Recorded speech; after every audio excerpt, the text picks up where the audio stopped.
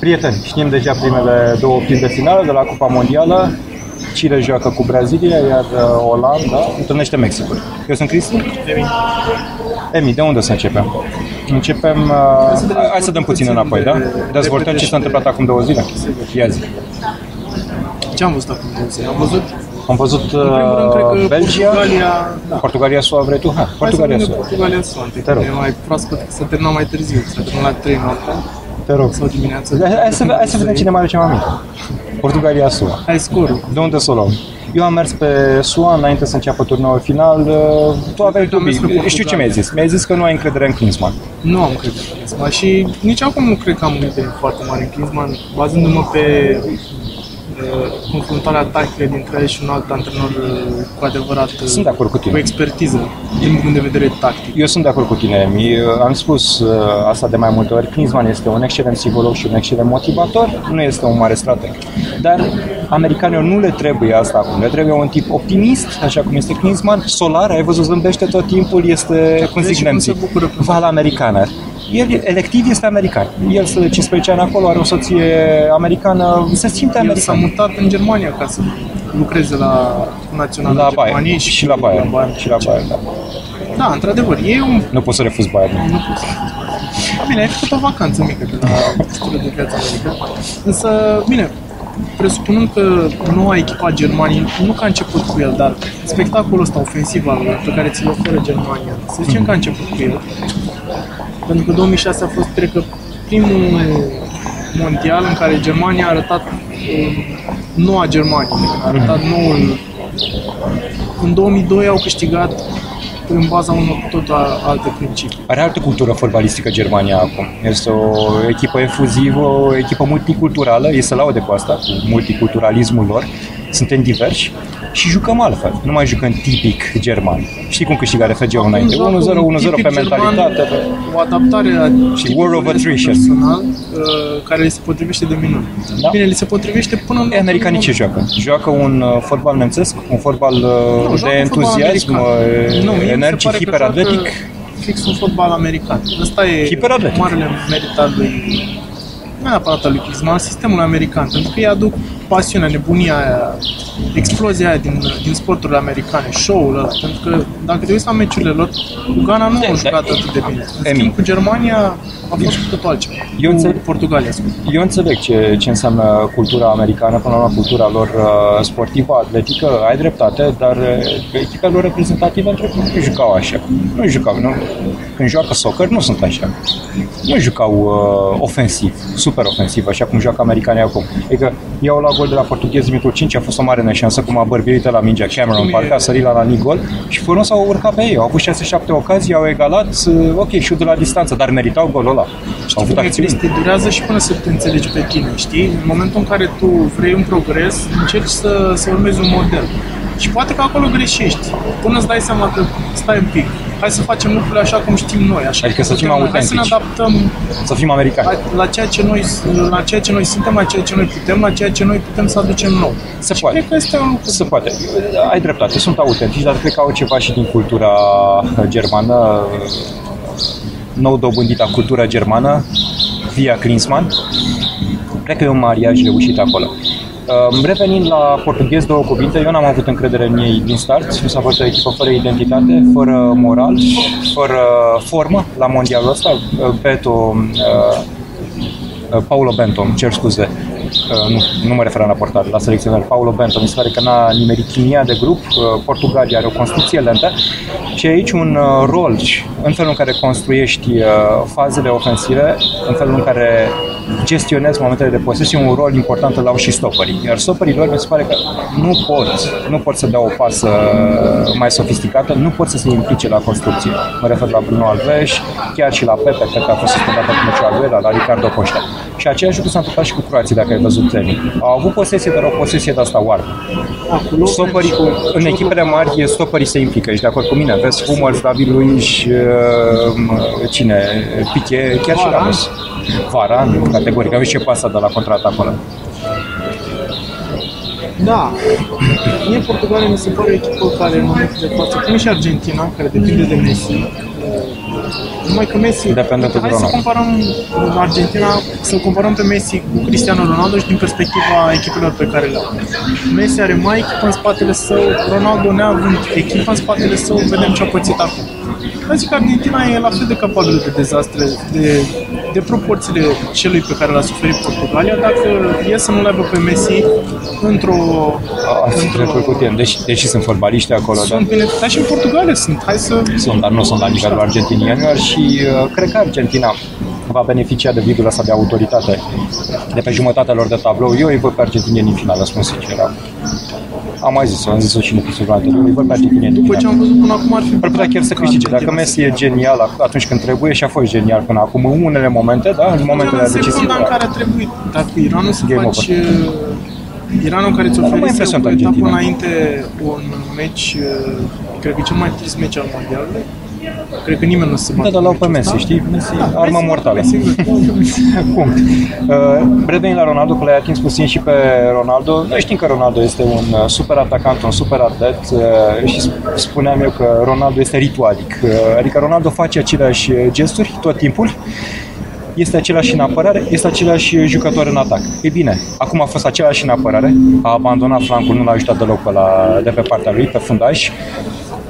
Inima jocului american a fost pe partea dreaptă, acolo unde a jucat Fabian Johnson, a făcut un meci excepțional fundașul uh, dreapta american. Pentru că Ronaldo nu și-a ajutat cu echipierul pe partea aceea, dar vreau să văd pe Ronaldo același în atac. Acolo nu a fost consecvent, Ronaldo n-a ajutat echipa Portugaliei la această Cupă Mondială. Nici măcar în a fost momentele un statice anonim. ale jocului. Da, Asta a dat centrarea genială, dar e puțin pentru un fotbalist de Da, faptul Chris, a avut lovituri libere din zone bune. Chiar Da, una da. foarte bună. Îți amintești de faza aia când scapă în dreapta și trage. De, de mediocru la poartă. Putea să facă Asta e, altceva. el are o frustrare acumulată la nivel de echipă națională.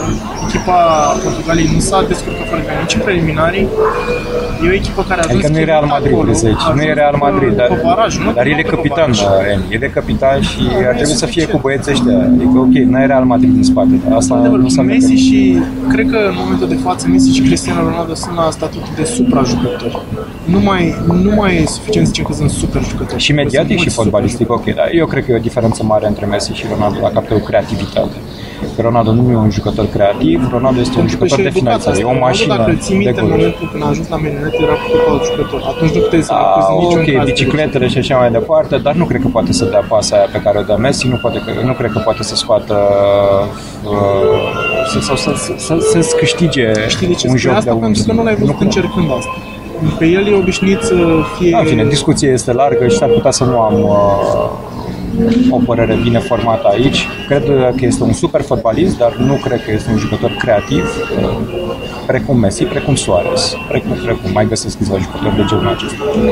Are alte calități indiscutabile, spuneam, e cel mai mare golgheter din, uh, din Europa, alături de Messi în ultimii 4-5 ani, din fotbalul european de club. Punct, e mare. Ok, hai să lăsăm Portugalia SUA. Două cuvinte de Belgia. Da, zic două cuvinte da, despre Belgia. De Belgia chiar două cuvinte, pentru că belgenii joacă puțin. Joacă puțin, joacă cât le trebuie. Au un, trebuie să primească, să fie acolo un penalti împotriva lor în meciul cu Rusia. Să... Dacă am fost. Belgenii au jucat, da, că am fost. Inițial nu mi s-a părut, însă după ce am văzut... Nici mie, am văzut meciul împreună. și- L- L-am văzut cu belgenii, poate că ne-au influențat ei. Aveam niște fani belgeni în spate, poate că ne-au influențat. Da, chiar am convins că n-a fost, acum nu mai sunt atât de convins. Uh, Brâș, nu? Arbitru german. Brâș, el a, el a arbitrat bine în general, a avut autoritate, dar acolo cred că Brâș. Belgia joacă exact cât are nevoie pentru victorii, au avut adversari modești, până acum cred că e adevărata lor provocare se vede, se simte, se... Ei cred că deja trăiesc pentru timp și cred că au trăit încă din momentul în care au ajuns acolo, convinși că o să treacă mai departe. Filozofia asta e puțin riscantă, însă cred că iau do- măsura aia a realismului încât să știe că totuși nu pot să piardă nici cu Algeria, nu pot să piardă, cu Rusia pot să Eu pierdă, știu, cred într-adevăr, că, dar- puteau să, cred că puteau să pierdă cu algerieni. Și ce vreau să întreb eu, Emi? Are Belgia antrenor? Mie mi s-a părut că Și aici ăsta o- Virmuț este un, uh, un câine, un rău uh, și că poate să motiveze grupul, dar e mai mult decât un motivator. E un jucător Poate care- fi un strateg. uh, Virmuț. Uite, nici lui, nici lui Muriel nu i-a ieșit uh, Dar au ieșit schimbările, asta trebuia să spunem. Felaini Da, dar care mi-a avea ieșit gol în primul primul meci și 11. Origi. Nu a ieșit primul 11. Da? Nici Aici lui un Mourinho semn de nu i-a întrebare. fost foarte ușor să, să domine pe azar, în schimb Vilmot să domine fără niciun fel de problemă. E jucătorul asta trebuie să spună ceva, pentru că în momentul în care poți să te adaptezi Are cu personalitate. personalitate, înseamnă că tu într-adevăr ai ceva. Nu știm dacă e, e Poate că la o echipă de club ar fi eșec total, dar la e din nivel Dar n-are de rost, să, național, n-are rost să facem Nu avem exercițiul ăsta cum de să imaginație. Suntem la Cupa Mondială, el trebuie să ducă Belgia cât mai departe. Reușește și asta, și o spălărie. Firma este mare. Asta e, e... Uite cum a fost și Raica. Raica, Da, da. El a avut pe Ronaldinho la Barcelona, a luat și Champions League, dar uh, eu nu cred E că Rijkaard suficient e să un mare reușească- antrenor, cum nici Hulit nu e un mare antrenor, care văzut, a avut Chelsea și apoi a dispărut. E suficient să Dar e un reușească analism acum. bun. Cred că nimeni nu mai vrea să, să gândească ce a fost după, ce a fost înainte, ce o să fie după. El trebuie să facă acum să scoată maximum din grupul Categoric. ăsta. Și cred că va scoate cel puțin până în sferturi cât mai mult. Are și un ușor culoar uh, Belgia și cred că Belgia poate fi alta atunci când va întâlni uh, echipe care vor face jocul. Acum când trebuie ei să construiască și să domine echipe care se apără supraaglomerat, care compactează centrul terenului, e acum când trebuie să facă asta, belgenii au uh, probleme. Nu cred că Vilmot a reușit să dezvolte un uh, concept de joc pentru echipele mici, dar cred că îl vor ajuta individualitățile în meciurile cu echipele mari. Adică Belgia poate juca devastator pe contraatac. Da, și Belgia cred că va fi devastatoare. în Cu momentul în care Mertens, va avea- Hazard, chiar de Cum Bruyne. e la pariuri când va avea o echipă cu o cotă mai mică decât ea, adică o echipă favorită să bată. În momentul ăla cred că vom vedea cât de bună poate fi Belgia. Mai ai și din presiune. Pentru că, uite, nu luăm ca referință meciurile amicale, dar uh, Belgia a jucat modest, bine, fără Eden Hazard, dar a jucat modest și contra României, pe națională din Așa este, așa este, am văzut. Da, ei într-adevăr au o problemă în fața adversarilor de genul ăsta. Pentru că Rusia, indiferent cu cât fac simpatiți, e o echipă cam de nivelul României. Nu știu, acum nu vreau să fiu, fac comparații. Poate nu, nu, nu e o echipă specială a Rusiei, Exact, adică nu nu e e aia echipă din specială. 2008, echipa aia de factură olandeză cu un arșavin uh, reîncarnarea lui Cruyff. Ok, uh, hai să vorbim și despre echipele care s-au calificat deja în optimi, uh, Emilia. Hai să vorbim puțin despre Hai să Croația, vorbim Mexic. direct de, de, de meciurile. Croația, Mexic. Croația-Mexic. Croația-Mexic e un meci uh, ce am înțeles de la meciul ăsta? Am înțeles în primul rând faptul că eu de la Croația cel puțin mă așteptam ca mă așteptam să văd un progres pe parcursul turneului. Ei au fost buni pe repriză cu Brazilia, mult mai puțin bun uh, aseară. Meciul Camerun nu cred că poate fi luat în calcul pentru că e un adversar care a fost foarte modest. Cu asta mă gândesc. Eu aseară mă așteptam să văd o echipă croată care să, să fie acolo în meci. să Cine au avut creează, să Croație? aibă- Cine au avut Croație? Eu am mers pe Croația la pronosticuri, dar uh, înaintea meciului uh, de ieri seara aveam feeling că va câștiga Mexicul. Mexicul pentru mine e mai echipă, că mexicanii au inteligența aia ca să joace meciurile mari. Uh, Ce mi-a plăcut mie mult la mexicani e uh, geometria asta variabilă a presiunii. Adică au fost momente când s-au retras, ei au așteptat jos, au absorbit presiunea, adică au dat luptele jos, în propria jumătate, au fost momente când s-au dus grămadă peste ei și au atacat de vreme în posesie. S-au dus peste stopării aia nesiguri, peste Ciorduca când era la minge, peste, peste, peste. Adică nu au unul și uh, nu au decât un jucător care are mare siguranță uh, uh, atunci când este presat, atunci când este pus sub presiune și acela este Modric ceilalți sunt uh, vulnerabili uh, în pressing. Și asta a făcut mexicanii în repriza a doua. Când s-au dus grămadă peste croați și au dat lovitura, au câștigat partida, deși nu aveam nevoie de victorie. Da, într-adevăr. Mie mi-a plăcut Mexic. Mie mi-a, mi s-a părut Mexic că a fost o echipă care din start și ok, și-au zis, băi, nu avem nevoie de victorie, dar noi o să câștigăm meciul ăsta. Și cred că e foarte de, de apreciat uh, felul ăsta de a vedea meciul. Și faptul că au făcut asta, au atacat, au jucat fotbal la 1-0, la 2-0, la 3-0.